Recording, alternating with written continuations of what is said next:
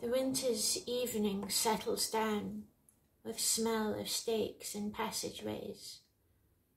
Six o'clock. The burnt out ends of smoky days.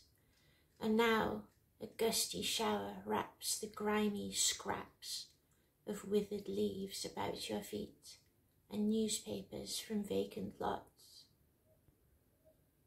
The showers beat on broken blinds and chimney pots, and at the corner of the street a lonely cab horse steams and stamps, and then the lighting of the lamps. The morning comes to consciousness of faint stale smells of beer from the sawdust trampled street with all its muddy feet that press to early coffee stands. With the other masquerades that time resumes, one thinks of all the hands that are raising dingy shades in a thousand furnished rooms. You tossed a blanket from the bed. You lay upon your back and waited. You dozed and watched the night revealing the thousand sordid images of which your soul is constituted.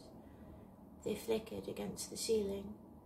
And when all the world came back, and the light crept up between the shutters, and you heard the sparrows in the gutters, you had such a vision of the street as the street hardly understands, sitting along the bed's edge where you curled the papers from your hair, or pressed the yellow soles of feet in the palms of both soiled hands. His soul stretched tight across the skies that fade behind a city block, or trampled by insistent feet at four and five and six o'clock, and short square fingers stuffing pipes and evening newspapers, and eyes assured of certain certainties the conscience of a blackened street, impatient to assume the world.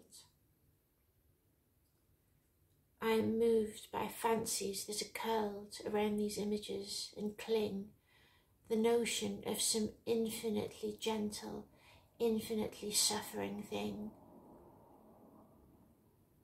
Wipe your hand across your mouth and laugh. The worlds revolve like ancient women gathering fuel in vacant lots.